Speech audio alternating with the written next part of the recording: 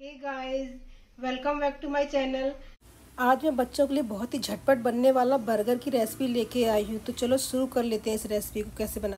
इस रेसिपी को बनाने के लिए हमने एक पैन गर्म किया, इसमें हमने डाला है लगभग एक बड़ा चम्मच ऑयल हमने यहाँ पे एक बड़े प्याज को रफली चॉप्ड कर लिया, वो हम इसमें डाल देंगे और इसे हम हल्का हल्का भून लेंगे। जब तक ये प्याज भुनना तब तक हम इसमें थोड़ा सा अदरक, लहसुन का पेस्ट डाल दे रहे आप यहाँ पे फ्रेश भी डाल सकते हैं। हमने यहाँ पे पैकेट वाला यूज़ किया है। हम इसको इसमें चला लेंगे। हमने यहाँ पे थोड़ी सी मिली जुली सब्ज़ियाँ ली, जैसे कि कैप्सिकम, कैबेज और थोड़ा सा हमने यहाँ पे टमाटर भी लिया है।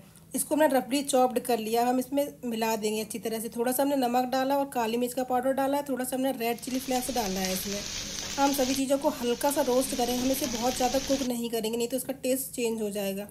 थोड़ा सा हमने यहाँ पे मैगी मसाला डाला। आप यहाँ पे चाहें तो अपने अकॉर्डिंग मसाला ऐड कर सकते हैं, अगर नहीं खाते हैं तो। अब हम यहाँ पे लगभग एक से डेढ़ स्पून डालेंगे बच्चों का फेवरेट मेयोनीज मेयोनीज को भी हम इसमें अच्छी तरह से मिला लेंगे। अब हमने यहाँ पे लिया है बर्गर वाले छोटे छोटे बनाते ना, हमने वो वाला लिया है। आपके पास जो भी अवेलेबल हो, आप वो ले सकते तो ये पहले से कटे हुए थे तो हम इसको एक प्लेट में निकाल ले रहे हैं। अब हमने यहाँ पे जो कटा हुआ बन लिया था ना, उसकी एक साइड पे हम यहाँ पे लगा देंगे पिज़्ज़ा सॉस यहाँ पे आप मेनीज के साथ टमाटो कैचअप भी मिला के लगा सकते हैं। हमने यहाँ पे थोड़ा सा मोजरेला चीज़ ग्रेट करके डाल दिया है। हमने जो सब्ज़ी पहले से कुक करके रखी थी ना, वो हमने इस पर डाल दी है। और दूसरी साइड में हम यहाँ पे लगाएँगे थोड़ा सा मेयोनीज। मेयोनीज को भी हम इस पर अच्छे से फैला लेंगे। अब हम यहाँ पे वापस से थोड़ा सा मोजरेला चीज़ डाल देंगे। आपके पास जो भी चीज़ अवेलेबल हो, आप यहाँ पे वो डाल सकते हैं। और इसके ऊपर थोड़ा सा हमने ऑर्गेनो डाल दिया है। तो अब हमने यहाँ पे बर्गर को अच्छे से कर लिया है सेट। इसी तरह हम दूसरा बर्गर भी बना के तैयार कर लेंगे। जो हम दूसरा वाला बर्गर बना के तैयार करेंगे, उसमें हमने मेनीज की जगह चीज़ स्प्रेड का यूज़ किया है। आपके पास दोनों में से जो भी चीज़ अवेलेबल हो, वो आप अच्छे से लगा सकते हैं।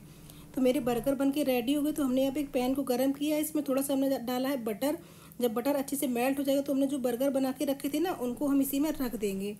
और अच्छे से रखने के बाद हम लो फ्लेम पे इसे एक लिड से कवर करके दो से तीन मिनट चीज़ मेल्ट होने तक कुक कर लेंगे। तो लीजिए, ये हमारे बर्गर बन के रेडी हो गए हैं। और इनको बनाने में हमें बहुत ज़्यादा टाइम भी नहीं लगा है। और इसके ऊपर हम थोड़ा सा चीज़ जो ग्रेट करा हुआ रखा था ना, वो और डाल दिए तो जिससे इसका टेस्ट और बढ़ जाएगा।